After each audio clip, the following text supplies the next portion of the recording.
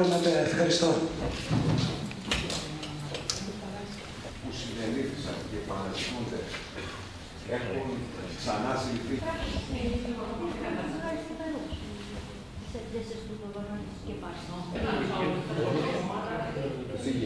Κλειδί. Κλειδί. Είστε Όχι τότε. Μισό λεπτό.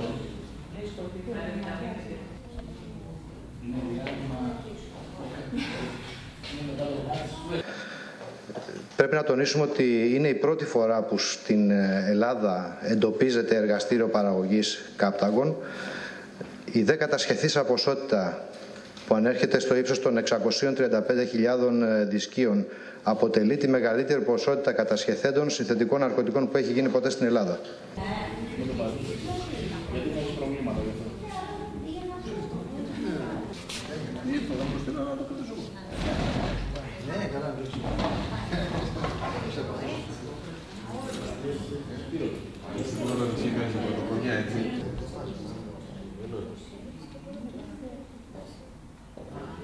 Στην υπηρεσία μας ε, περίληφθη μια πληροφορία από το γραφείο της Υπηρεσίας Δίωξης Ναρκωτικών των Ηνωμένων Πολιτειών Αμερικής ε, σχετικά με την ύπαρξη εργαστηρίου παραγωγής συνθετικών ναρκωτικών δισκίων σε μια άγνωστη περιοχή του νομού Αττικής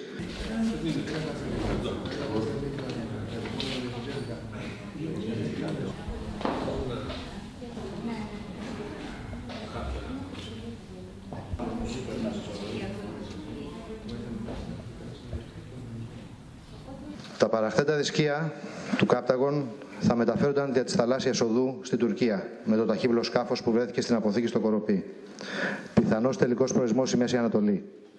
Είναι κάτι το οποίο διερευνάται από όλες τις αρμόδιες υπηρεσίες και πιστεύω ότι και με τη συνδρομή της ε, Αμερικανικής Υπηρεσίας Δίωξης Ναρκωτικών DEA που μέχρι τώρα μας έχει προσφέρει τα μέγιστα θα μπορέσουμε να καταλήξουμε σε ένα ασφαλές συμπέρασμα το που, για το πού προϊζόνταν τελικά αυτά τα, τα δισκία. Επίσης, κάποια πρόσθετα, κάποιες άλλες δηλαδή φαρ- φαρμακολογικές ουσίες, τα δρανεί επίσης και αυτά σε μεγάλες ποσότητες και μάλιστα σε μια πρόχειρη εκτίμηση θα έλεγα ότι έτσι, υπάρχουν ε, οι σακούλες που σας είπαμε προηγουμένως οι κύριοι των διοικητικών αρχών, Turning to other news now, and police say they've cracked the biggest global online pedophile network. Dozens of Australians are said to be involved, including four who were key players in the website's administration. Four Australian children are among the 230 who've been taken into care after being rescued from continued or potential abuse. Europe correspondent Emma Alberici reports. At the height of Operation Rescue, 70,000 people were found accessing boylover.net. Taxi drivers, teachers, scout leaders, even police, sharing their sexual fantasies about children. Investigators in the UK infiltrated the online forum posing as pedophiles. It was immediately clear to them that the website managers were attempting subterfuge. The administrators and key people within the forum were very keen to keep the main part of the forum legal, so there were no images displayed, there was no content on that forum that could have been illegal in any of the countries involved. The investigation has involved 30 law enforcement agencies across the world. The Australian Federal Police held a joint press conference with Europe's serious crime authorities in the Netherlands. More than likely the largest child abuse online network that we've seen uh, across the world and most definitely uh, in Australia. Police say 230 children have now been rescued, some as young as two. Among them are four Australian children. When you say you, you rescued them, uh, in, in what way? Well, certainly by uh, arresting the offenders, but also to um, by notifying um, the children or the parents of the children in terms of the activity that they were uh, engaged in online. The timing of today's announcement coincides with the conviction of the ringleader of the pedophile network, a 37-year-old Dutchman jailed for abusing a 14-year-old Brazilian boy.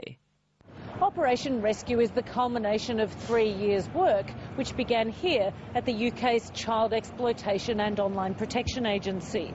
So far, there have been 184 arrests around the world, but the investigation is far from over. There are still around 500 people to be questioned. Emma Alberici, ABC News, London.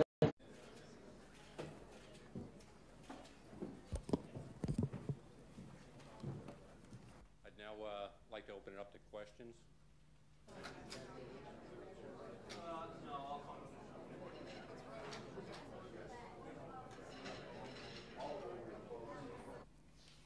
This organization that we disrupted today embraced the American capitalist idea and would sell any type of drug for a profit and did not discriminate in its dealings with any other drug organizations.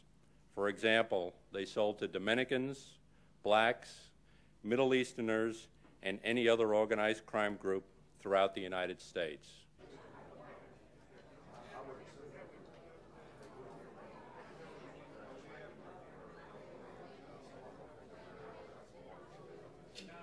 His organization included the Sotelo Lopez brothers, who were based in El Paso, Texas, who transported these drugs using tractor trailers and the railway system, particularly piggyback trailers, as well as vehicles with hidden compartments, and concealed these drugs using clothing that was used or other methods.